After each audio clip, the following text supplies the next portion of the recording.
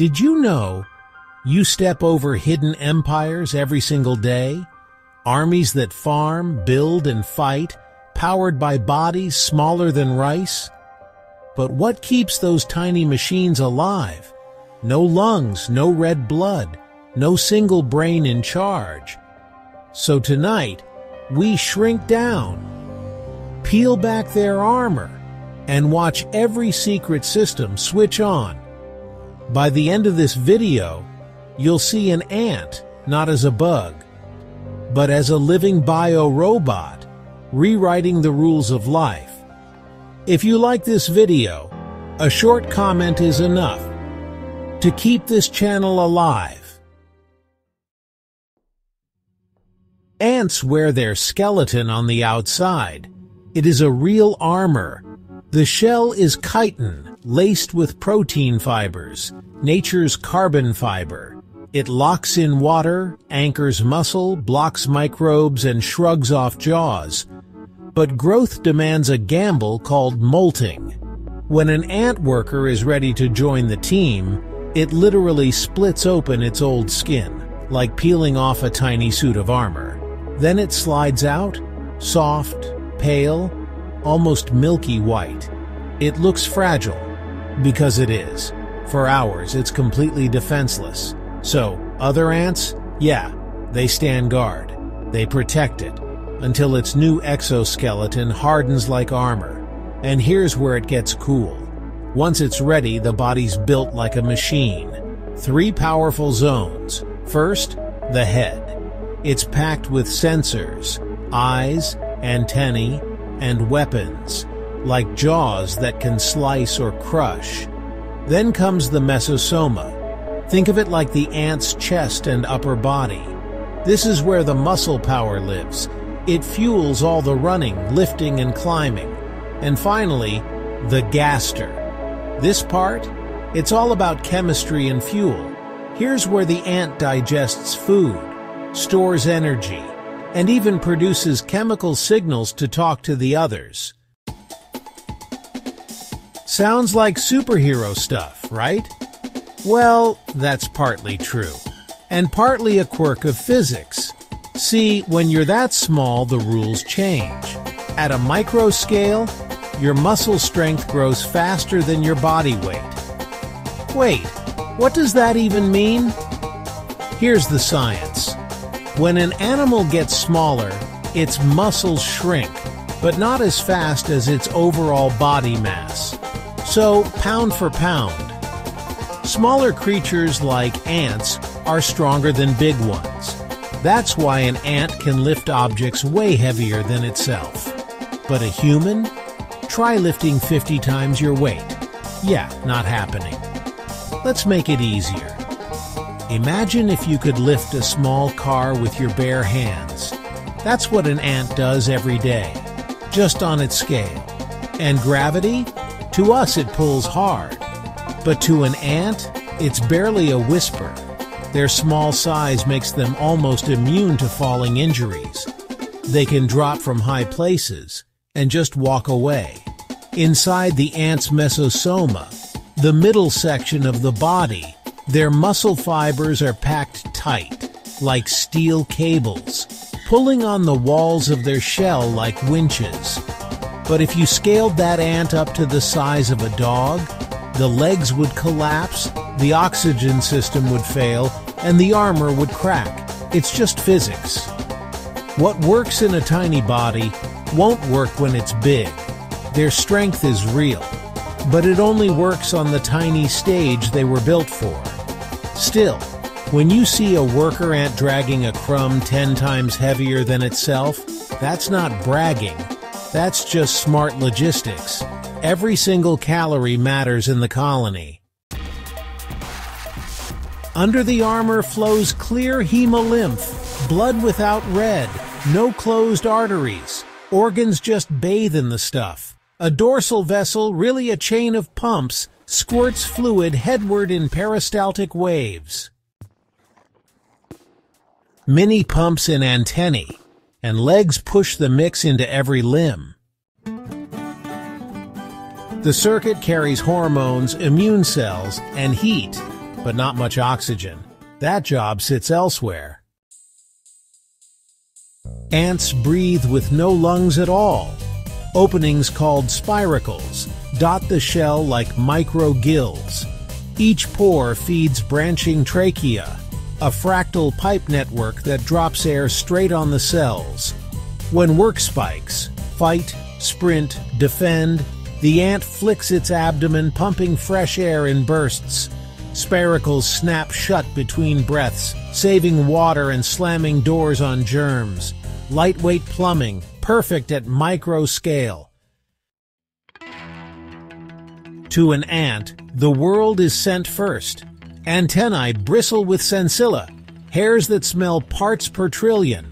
One swipe across a trail decodes friend, foe, food, danger, detour.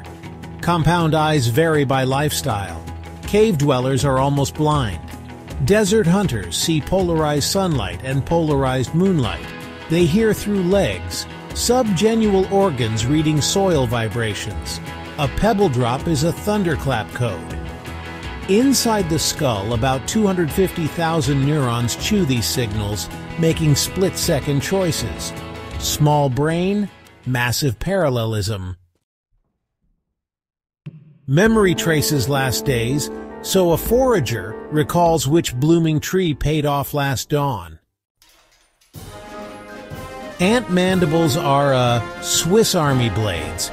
Trapjaw species preload elastic protein, latch, release, snapping shut at 90 meters per second, which is honestly the fastest movement in the animal kingdom. The recoil can even fling the ant itself backward kung fu style. Fire ants, though, trade speed for chemistry, injecting alkaloid venom that burns like nettle on jet fuel. Weaver ants shoot formic acid. Bullet ants deliver, the most painful sting ever recorded.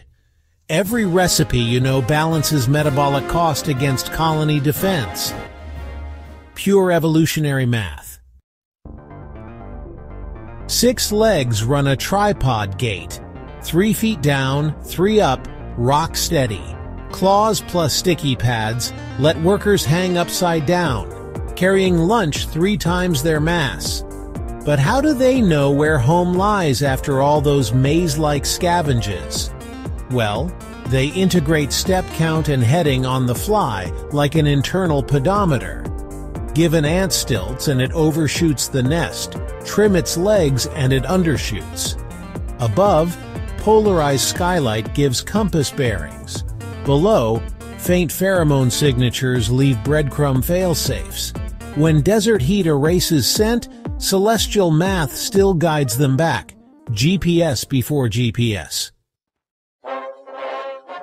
In ant society, the colony lives the individual negotiates with death. Camponotus workers self-rupture, autothysis, spraying glue that traps invaders. Suicide is a job title. Fire ants interlock claws, form living rafts and float for weeks. Their hydrophobic cuticle traps air, making a silver life raft. Army ants become living bridges, stretching bodies across gaps so the army never stalls. Frail bodies turned into modular architecture, genius by numbers.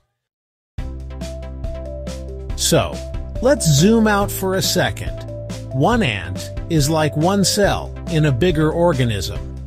Food actually travels mouth to mouth through a process called trophallaxis, which honestly works a lot like blood flow in our bodies. Pheromones pulse through the colony like hormones, shifting the workforce around. You get more nurses at dawn, and more soldiers right after an attack. The brood, or the young ants, get moved between warm and cool rooms in the nest. It's basically an external womb, but it's regulated by behavior instead of biochemistry. And here's the wild thing. There's no single brain in charge, but these emergent decisions can outpace some supercomputers. Ants tunnel tons of soil every single year, aerating the ground, moving nutrients around, and boosting water flow. They also harvest corpses, prune pests, and bury seeds that actually bribe them with fatty elaiosomes. That's underground planting with insect labor, if you can believe it. If you remove ants, decomposition slows down, plant mixes shift, and pests can just explode in numbers. When one tiny gear goes missing, the whole biome groans. Engineers have actually copied ant logistics in something called Ant Colony Optimization Code, which now routes trucks and data packets all over the world. Roboticists have borrowed ant sky compasses to steer six-legged rovers in places where GPS just doesn't work. And get this, microgrippers are designed to mimic ant mandible latches for really delicate surgery. Study small, Build big. Here's the paradox. Each ant is fragile, short-lived, and almost invisible. Yet together they form a network that breathes without lungs, circulates without veins, and thinks without a centralized brain. If you swipe one trail off your counter, you actually snap a living data line in a biochemical internet. So, what shocked you most? Was it breathing through fractals, suicide glue bombs, or jaws faster than sound? Drop your pick below. I read every answer. And if hidden biology thrills you, go ahead and hit subscribe. Stay curious and, uh, watch where you step.